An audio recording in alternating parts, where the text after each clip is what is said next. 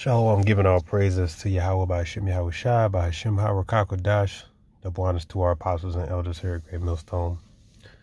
Just again to speak on uh, the, the, situation that happened at IUIC where Bishop Nathaniel, the leadership, was calling out an act. Uh, well, when you read the text, um, it seems like there's an act of adultery that happened.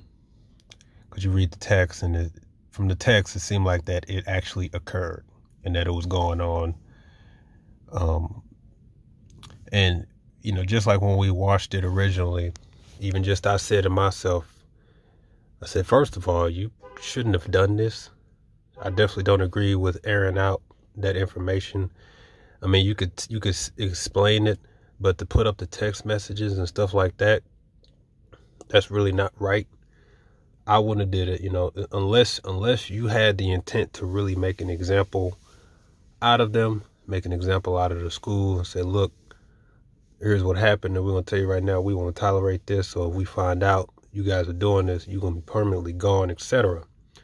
But instead, um, you know, they were laughing. Now we're not saying I'm not saying that Bishop Nathaniel was in agreement with it. Um, I do think, however, these two happen to be uh, a victim of, um, you know, just being a victim of of being lower rank and you're going to be called out and uh, be made fun of. Um, you know, because we, we all know that we already knew adultery was going on behind the scenes. We already know that. You know, there's testimonies on that because you got the women in the schools.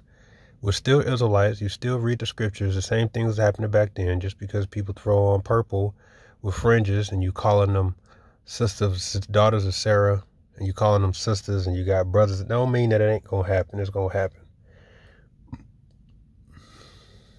Nothing new under the sun. But for that, for those two to get called out, I do think that you know they they just happen to be a victim of being a lower rank, and uh, they were going to get called out and be laughed at.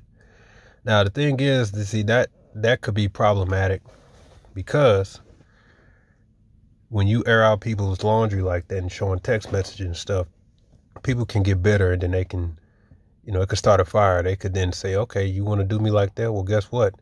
I'm going to show these texts. I'm going to show this text. And that's typically what happens when people leave that, that group. Typically, when they leave that group, they feel wrong in some type of way. And they don't get dealt justly. So what do they do? They air out people's laundry. So that's the type of fire. And that's why I don't know. I, I just don't agree with uh, Bishop Nathaniel taking that approach. I don't know why he he did it that way, and if anything, making fun of it. But like I said, they happen to be, I think they're victims of being lower rank because that, you know, they de- he definitely, um, they definitely wouldn't do that to somebody who's higher rank. Definitely wouldn't, right? But nonetheless, they still believe that that this was good. They think this is okay, which is not. It's not even okay. You should have kept this in house. You should have just dealt with the situation and did it a different way, right? They still will go on. Nate's still probably gonna take his trips. He probably already on the flight right now. And they think that everything's just good and they just gonna keep moving on. Well, I just got one scripture here. This is uh First Corinthians chapter five. Even in this chapter, he's Paul's referring to what? Somebody that was in the church who thought it was a good idea that he could have his father's wife. And they thought it was okay. So he was rebuking them. So he said in verse 6 Your glorying is not good. Know ye not that a little leaveneth leaveneth the whole lump?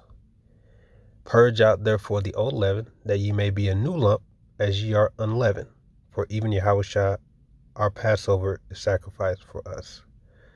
So listen, your glorying is not good over there at the IUIC. Cause you're still gonna party, you're still gonna throw feasts, you're that, that you're still gonna be traveling. That's not a that's still nothing to glory in knowing that that stuff is happening on a regular in your in your school. You if anything, you should get your house in order. You should obviously not have aired this out publicly like that and just said, look, we had a case of dealing with this adultery. We're going to kick them out. and We're going to deal with it. And then behind the scenes, when you're off camera, get your house in order. You know, what what because what does it look like you traveling, and you doing these interviews, you got time to do all these things, but your house ain't in order. You gotta you gotta start shutting stuff shutting stuff down and tightening up. And that really goes into you basically putting the women out. Say, look, no more women here, no more women this. That's cleaning up the act. But they're laughing about it. They're just moving forward like, hey, them niggas got caught. That's on them. And I'm willing to bet everybody, other there were other people in that crowd that was just like, oh shoot, let me delete my text messages. Hey sister, delete your text messages. Oh yeah. And I'm pretty sure somebody, somebody on that at that table knew that this wasn't a good idea. Cause while they over there uploading the text messages, yeah, we're gonna pull up those text messages. We're gonna I'm pretty sure one of them men knew like, hey, I don't think this is a good idea, brother. This won't be a good look. We should try to keep this in house and not get too personal like this. But they didn't say nothing. You should have said something because now this just looks horrible. And it's just going to look even more horrible if the next time we see Bishop Nathaniel, he's on another platform doing an interview. He's over here, he's across the world. All that. Why you got that going on in your house, man? You're supposed to get your house in order, man and you're still gonna party, you're still gonna, you know, dance, throw feasts, and when. And the scripture says your glorying is not good. A little leaveneth, leaveneth the whole lump. If anything, this is the time now for y'all to get your house in order. Stop, stop with the BS. Handle your business. Because the Lord is not pleased. He's not.